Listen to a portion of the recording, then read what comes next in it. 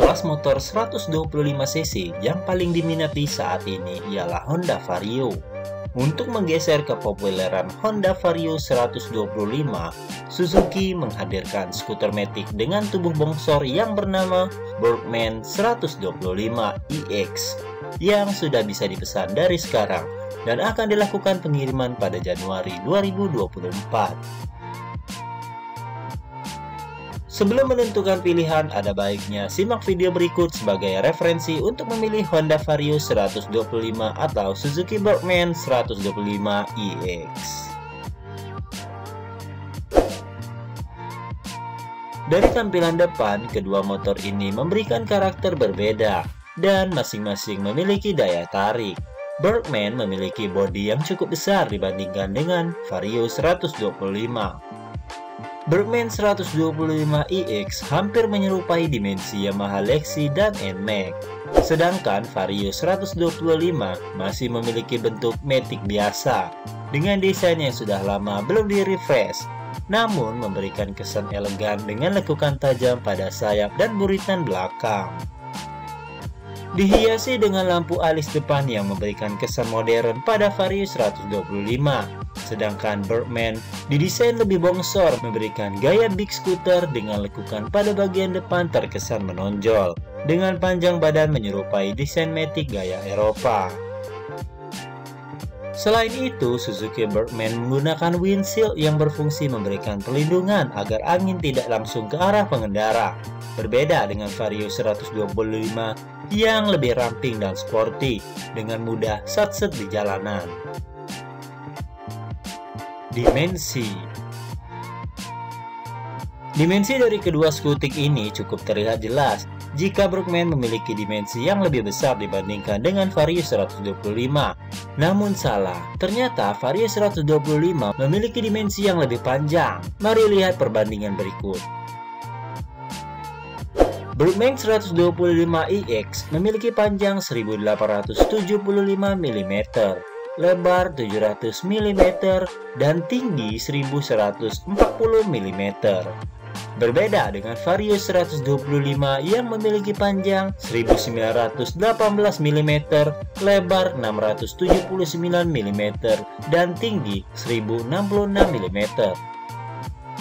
Di sini terlihat bahwa Vario 125 memiliki dimensi yang lebih panjang 43 mm dari Bergman Walaupun jika dilihat dari kasat mata, Bergman memiliki dimensi yang lebih panjang. Namun Bergman memiliki dimensi yang lebih lebar 21 mm dan tinggi 74 mm dari Vario 125. Wheelbase atau jarak sumbu roda Bergman di angka 1290 mm, sedangkan Honda Vario hanya 1280 mm saja. Ketinggian jok dari kedua motor ini berbeda, di mana Bergman memiliki ketinggian tempat duduk 780 mm, sedangkan Vario hanya 769 mm. Fitur Agar bisa bersaing dengan Vario 125, Bergman dibekali dengan fitur-fitur yang tidak kalah canggih seperti engine auto stop start, kombi brake system, kompartemen depan yang sudah dilengkapi dengan port USB 2 ampere serta bagasi berkapasitas 21,5 liter. Dengan begitu, kapasitas bagasi Vario kalah dari Bergman yang hanya memiliki kapasitas 18 liter saja. Namun sayang, Suzuki Bergman belum menggunakan teknologi Smart Key System yang sudah digunakan pada Vario 125. Bergman masih menggunakan anak kunci untuk menyalakan sepeda motor yang masih diimpor dari India ini. Performa di atas kertas, Honda Vario memiliki mesin berkapasitas 124,8 cc, sedangkan Suzuki Bergman memiliki kapasitas mesin 124 cc saja. Bergman dapat menghasilkan tenaga maksimal 6,3 kW pada putaran 6500 rpm, akan tetapi, Vario 125 dapat menghasilkan tenaga sebesar 8,2 kW pada putaran 8500 rpm. Di sini jelas, power Vario lebih besar dibandingkan dengan Bergman 125 Jika bobot menjadi salah satu faktor Bergman tidak bisa sebesar Power Vario, itu salah.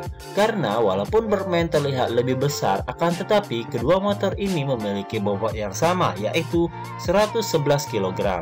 Tipe mesin Vario 125 berpendingin cairan, sedangkan Bergman 125 iX hanya berpendingin udara saja. Klaim konsumsi bahan bakar Vario dapat menempuh hingga 51,7 km dengan 1 liter bensin, sedangkan Berman dapat menempuh hingga 52,6 km dengan 1 liter bensinnya. Kapasitas tangki bahan bakar Untuk melaju lebih jauh, kapasitas tangki bahan bakar semakin besar akan semakin jarang mengisi bensin. Di sini, Vario 125 memiliki kapasitas tangki bahan bakar sebanyak 5,5 liter saja, sedangkan Brookman memiliki kapasitas tangki bahan bakar yang sama, yaitu sebesar 5,5 liter juga. Dengan posisi tutup tangki berada di bawah jok, yang artinya sama dengan Vario 125. Velg dan ban Desain dari velg Honda Vario didesain palang 5 bercabang dengan ukuran 14 inci, membuat tampilan Vario lebih eksklusif, dengan warna keemasan dihiasi dengan wavy disc brake. Jika Vario 125 menggunakan velg berwarna keemasan, berbeda dengan Birdman yang memiliki desain velg palang 5 standar yang memiliki palang besar-besar layaknya palang tempo dulu. Ukuran ban dari keduanya pun berbeda, di mana Honda Vario menggunakan profil ban depan 90 per 80 R14 dan ban belakang berukuran 100 per 80 R14. Sedangkan Suzuki Brookman menggunakan ring yang lebih kecil yaitu 12 inci saja dengan profil ban depan 90 per 90 R12. Ban belakang berukuran 100 per 80 R12. Dengan diameter ban yang lebih kecil membuat Brookman tidak pas dengan bodi yang lebih besar. Namun hal ini akan membuat Brookman lebih stabil. Dari sisi pengiriman, Honda Vario 125 menggunakan kombi brake system dengan pengiriman depan menggunakan cakram dan tromol untuk bagian ban belakang. Dengan teknologi yang sama, Bergman menggunakan pengiriman depan cakram dan belakang tromol juga, serta ditambah dengan kombi brake system pada Bergman 125 iX ini.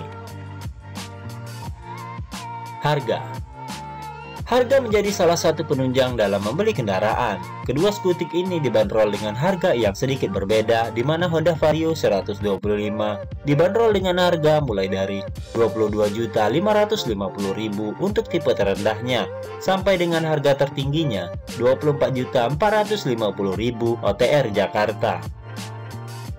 Sedangkan Suzuki Brockman 125 iX yang hanya memiliki satu tipe dibanderol dengan harga Rp24.700.000 OTR Jakarta. Dari sisi harga, Suzuki Brockman sedikit lebih mahal dibandingkan dengan Vario 125, namun dengan kelebihan dan kekurangan masing-masing. Untuk Suzuki Brockman kini sudah bisa dipesan melalui website resmi Suzuki Motor Indonesia dan akan dilakukan pengiriman pada Januari 2024. Silahkan tentukan pilihan kalian dan jangan lupa tulis di kolom komentar. Terima kasih bagi teman-teman yang sudah subscribe dan bagi teman-teman yang belum subscribe tidak ada salahnya untuk subscribe sekarang juga.